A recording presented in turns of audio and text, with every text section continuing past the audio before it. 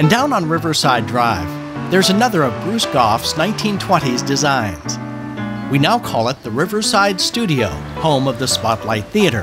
The servants' quarters were became the. the Larry Stockard, with the theater uh, group, the men's says nearly every weekend since 1953, they've been performing a funny, old time melodrama here called The Drunkard. The show is a hoot.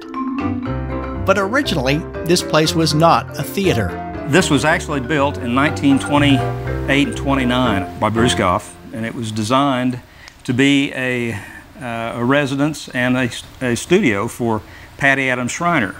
And Patti Adams Shriner was a classically trained piano teacher who wanted her home to reflect her occupation. That's why there are piano inspired designs in the building.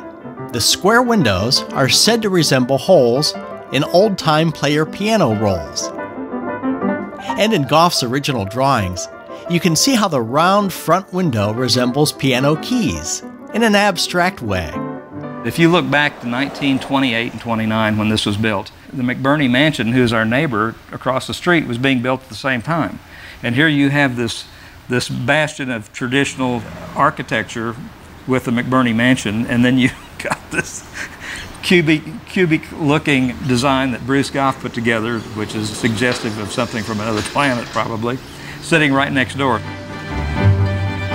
Bruce Goff's early Art Deco designs may have looked like something from another planet, but it was modern